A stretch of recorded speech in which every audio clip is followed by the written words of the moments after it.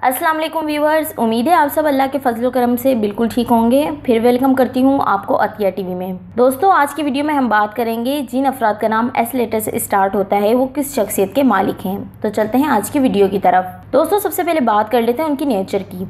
S नाम वाले लोग फितरती तौर पर बड़े ही हसमुख लोग होते हैं।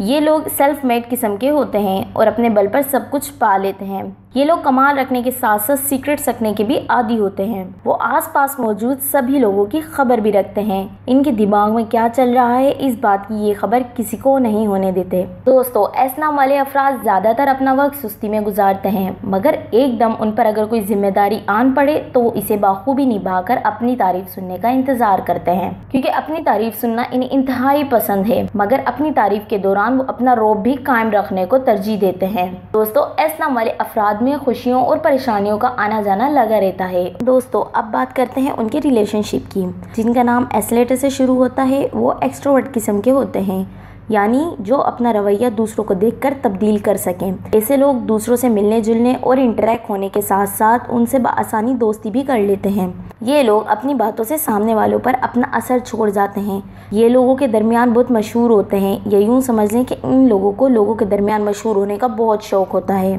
तो दोस्तों, अब बात करते हैं उनके करियर की। ये लोग बहुत ही ज़्यादा मेहनती होते हैं। ये लोग अपने मकसद को पाने के लिए लगन और मेहनत से काम करते हैं। अपने करियर को लेकर ये लोग काफ़ी हद तक परेशान रहते हैं, लेकिन जिस फ़ील्ड में भी जाते हैं, अपने मालिक के वफादार रहते हैं। ऐसे लोग बहुत ही ज़्यादा पुरुद रहने के साथ साथ अपने ख्याल और जज्बात के साइड पर रख के प्रैक्टिकल सूट के साथ जीते हैं। अपने नज़रियात पर ज़िंदगी गुजारना आसान नहीं होता, मगर फिर भी अपने असूलों और नज़रियात के मुताबिक ज़िंदगी गुजारना पसंद करते हैं। दोस्तों, वैसे तो ये लोग अपने दिल में क्या चल रहा है किसी को मालूम होने नहीं देते, मगर जहाँ कहीं भी कोई काम निकलवाना हो तो ये इंतहाई होशियारी लगाने से गुरेज नहीं करते और अपने टारगेट को हासिल करने के लिए किसी भी हद तक जा सकते हैं।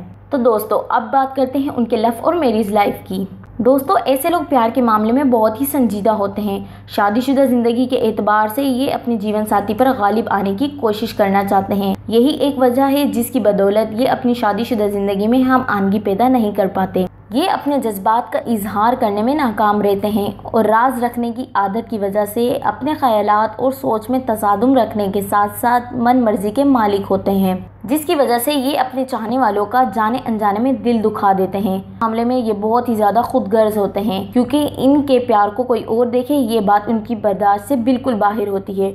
मतलब ये लोग अपने प्यार किसी के साथ शेयर नहीं करना चाहते।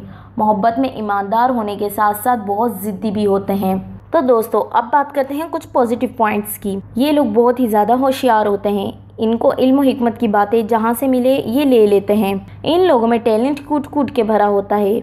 ऐसे लोग बहुत साफ़ दिल के होते हैं। इनकी सबसे बड़ी खूबियों में से एक खूबी साबित कदमी है। अगर वो बहुत ही ज़्यादा मेहनत से काम करें तो कामयाबी उनके कदम चूमती है। तो दोस्तों, बहुत हो गई उनकी तारीफ़। अब चलते हैं कुछ नेगेटिव पॉइंट्स की तरफ़। ऐसे लोग कभी कभी चिड़चिड़ेपन का भी शिकार हो जाते हैं। ऐसे लोगों को हुक्म चलाने की बहुत ज़्यादा आदत होती है। ये लोग दिल के बुरे नहीं होते, मगर अपनी बातचीत के अंदाज से इनको लोगों के सामने बुरा बनना पड़ जाता है। दोस्तों मतलब ये है कि इनका जिद्दी मिजाज इन्हें बुरा बना देता है। ये अपनी हर बात मनवाने की भरपूर कोशिश करते हैं। ये किसी भी किस्म की रोक टोक पसंद नहीं करते। और अगर आप इनसे कोई काम करवाना चाहते हैं तो आपको बहुत ही ज़्यादा मजबूर होकर उनसे अपना काम निकलवाना पड़ेगा। ये अपना वीक पॉइंट किसी को नहीं देते, मगर आसपास की हर खबर रखते हैं। तो दोस्तों, इस वीडियो में हमने जान लिया कि नाम वाले अफराद किस शख्सियत के मालिक होते हैं। मिलेंगे नेक्स्ट वीडियो में, तब तक के लिए अल्लाह हाफिज़।